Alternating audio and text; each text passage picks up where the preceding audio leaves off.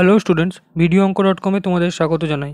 এখন আমরা যে কোশ্চেনটা সলভ করব, তাতে দেখো বলা আছে টোয়েন্টি এইট মিটার ব্যাস বিশিষ্ট বৃত্তাকার ট্র্যাকে পূজা ও জাকির একই জায়গা থেকে একই সময় প্রতিযোগিতা শুরু করে।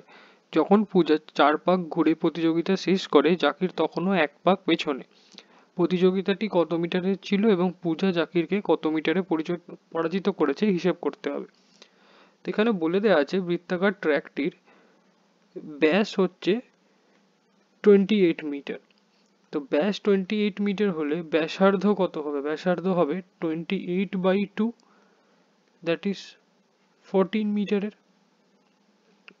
ব্যাসার্ধ ফোরটিন মিটার তো পরিসী, এখানে বৃত্তাকার ট্র্যাকটিকে ওরা এইভাবে গোল করে ঘুরছিল, অর্থাৎ পরিধি বরাবর। তো পরিধির ফর্মুলা কি হয়? পরিধির বৃত্তের পরিধি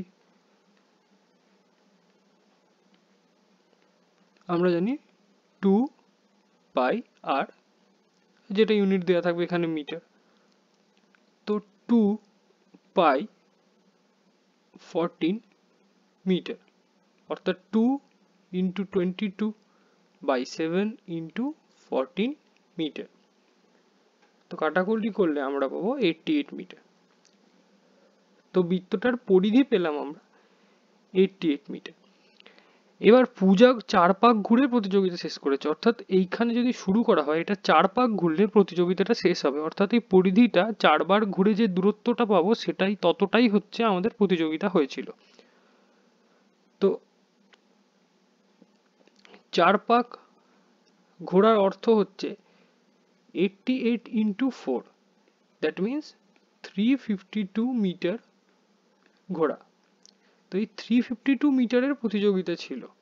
আর পূজা যখন চার পাক ঘুরে ফেলেছে, জাকির তখন এক পাক পেছনে, অর্থাৎ জাকির তখন তিন নম্বর পাক দিচ্ছে। তো এইটটি এইট ইন্টু থ্রি হয় টু সিক্সটি ফোর মিটার।